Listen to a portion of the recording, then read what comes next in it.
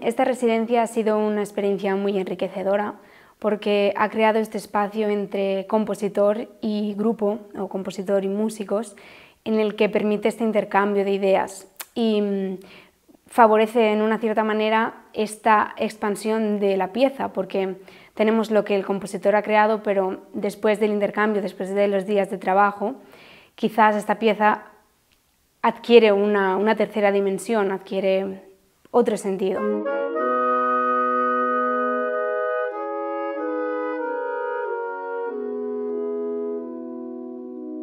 Creemos que es importante que haya espacios o instituciones como son la Fundación y también Juventudes Musicales de España que mm, den apoyo a iniciativas como estas que, que favorecen también el trabajo de jóvenes músicos.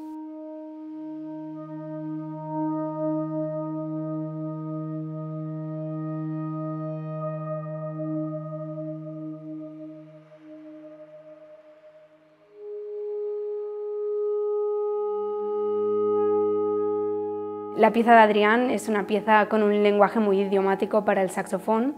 con efectos eh, como son los aires, como son trinos de color, juega mucho con este sonido, cambios de sonido, cambios en el timbre del instrumento. Y es algo muy cercano a lo que, bueno, a lo que el saxofón se refiere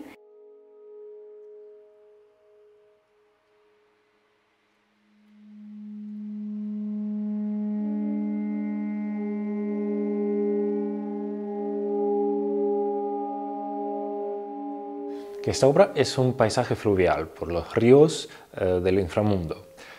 Uno de ellos es eh, el Leteo, el río del olvido, y el otro se llama Mnemosine, eh, que es el río de memoria. Entonces, ¿qué pasa? Que si bebes las aguas del Leteo, te olvidas de todo, y si bebes las aguas de Mnemosine, te trae los recuerdos de todas tus vidas pasadas. Entonces, en mi obra estaba intentando recrear ese proceso de transformación, cuando el teo se transforma en nemocine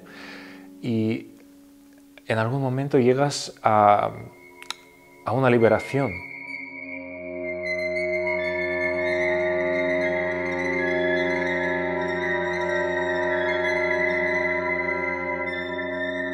Desde el Littore Quartet siempre hemos querido apoyar un poco lo que es la creación, la nueva creación o el trabajo con nuevos compositores